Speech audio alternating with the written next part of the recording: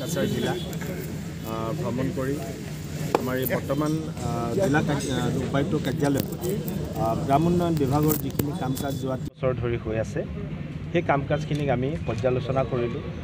ক'ৰবাত কিবা ভুল ৰৈ গৈছে নেকি খুঁত ৰৈ গৈছে নেকি এইখিনি চালোঁ। আৰু যিখিনি আমি সৰু সুৰা যিখিনি অসুবিধাজনক বা যিখিনি বেয়া কিবা দেখিছোঁ সেইখিনি আমি তেওঁলোকক শুধৰাবৰ কাৰণে পৰামৰ্শ দিছোঁ।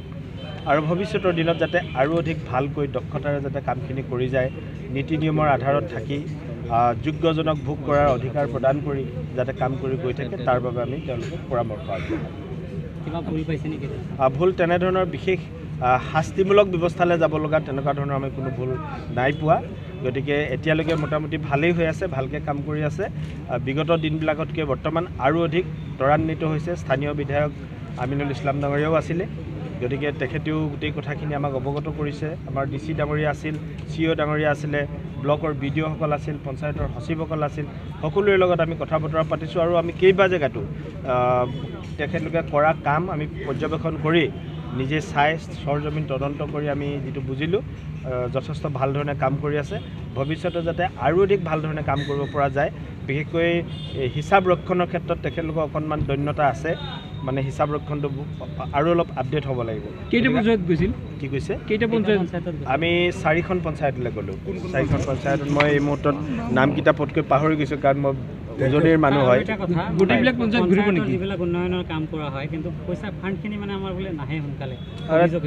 আচলতে তেনেকুৱা কথা নহয় পঞ্চায়তৰ ফাণ্ড নিৰ্দিষ্ট সময়ত আহে। কিন্তু ফাণ্ডখিনি আমি কি হয় প্ৰথম বছৰৰ ফাণ্ডখিনি ব্যৱহাৰ কৰোঁতে যদি নিৰ্দিষ্ট সময়টোতকৈ দেৰি লাগে তেতিয়াহ'লে দ্বিতীয় ফাণ্ডটো দেৰিকৈ অহাটো স্বাভাৱিক কথা।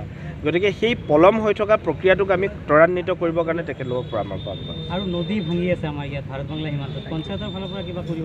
পঞ্চায়তৰ ফালৰ পৰাতো নদী ৰখাটো সম্ভৱ নহয় কিন্তু তথাপিও মই দেখিছোঁ যে এম জি এনৰেগাৰ যোগেদি ইয়াৰ চি অ' ডাঙৰীয়াই বি ডি অ'সকলৰ লগত লগ লাগি কিছু কিছু জেগাত কাম কৰি আছে। আৰু চৰকাৰে এই ক্ষেত্ৰত যথেষ্ট ব্যৱস্থা লৈছে। ইতিমধ্যে গোৱালপাৰা জিলাৰ ব্ৰহ্মপুত্ৰ খহনীয়া ৰোধ কৰাৰ ক্ষেত্ৰতো যথেষ্ট গুৰুত্বপূৰ্ণ ভূমিকা লৈছে। আৰু এইখিনি ক্ষেত্ৰতো আমাৰ স্থানীয় বিধায়কে চৰকাৰৰ লগত যোগাযোগ কৰি আছে। নিশ্চয় আগন্তুক দিনত আমি ভাল আঁচনি দেখিবলৈ পাম। ধন্যবাদ এই- এইটো পঞ্চায়ত এইটো ইয়াৰ জিলাত দেখা গৈছে যে ইয়াৰ এইটো জিলাত দেখা গৈছে বিভিন্ন স্কুলত আহ, ভলীবল ফিল্ড উন্নয়নৰ নামত টকা দিছে। টকাবিলাক সঠিকভাৱে ব্যৱহাৰ হোৱা নাই মাথোন দুটা খুটা পুতি থৈছে এই সন্দৰ্ভত কি কি চালে? চাওক আমি তেনেকুৱা কোনো আমাক কোনো ধৰণৰ লিখিত এতিয়ালৈকে আমাক তেনেকুৱা কোনো অভিযোগ আমি পোনপটীয়াকৈ পোৱা নাই। যদিও অভিযোগ কোনোবাই দিয়া হ'লে আমি নিশ্চয় চালোহেঁতেন।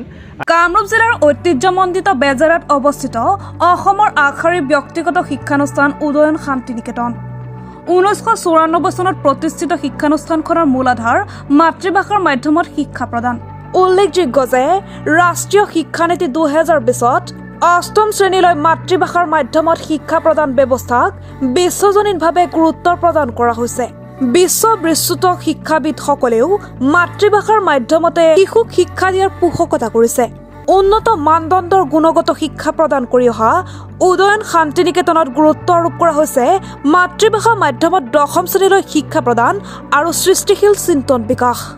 উদয়ন শান্তি নিকেতনৰ আভ্যন্তৰীণ ভাগত আছে উন্নত মানদণ্ডৰ সুকীয়া সুকীয়া বিজ্ঞানাগাৰ পঢ়া কোঠাৰ সৈতে সংযুক্ত উন্নত মানদণ্ডৰ পুথিভঁৰাল নেট জে ডাবল ই অলিম্পিয়াডৰ প্ৰস্তুতিৰ বাবে অষ্টম শ্ৰেণীৰ পৰা বিশেষ পাঠদানৰ ব্যৱস্থা A P S C U P S চিৰ প্ৰস্তুতিৰ বাবে দ্বিতীয় শ্ৰেণীৰ পৰা কাৰেণ্ট এফেয়াৰ্ছ জি কে আৰু মেণ্টেল এবিলিটিৰ নিয়মীয়া শিক্ষা প্ৰদান ব্যৱস্থা। চিত্ৰাংকন নিয়মীয়া পাঠদান ব্যৱস্থা স্পকেন ইংলিছৰ নিয়মীয়া পাঠদান ব্যৱস্থা ছাত্ৰ ছাত্ৰীৰ বাবে প্ৰকল্প বিকাশ ক্ষেত্ৰ অধ্যয়ন ব্যৱহাৰিক শিক্ষা প্ৰদান ব্যৱস্থা বিশেষ গৃহ ভ্ৰমণ ব্যৱস্থা ছাত্ৰ ছাত্ৰীৰ উৎকৰ্ষ সাধন গোটৰ ব্যৱস্থা উন্নত পৰিবহণ সেৱাৰ ব্যৱস্থাকে ধৰি ফুলকলি প্ৰাক প্ৰাথমিক আৰু প্ৰথম শ্ৰেণীৰ বাবে দুপৰীয়া এক বজাৰ পৰা বিশেষ পৰিবহণ সেৱা।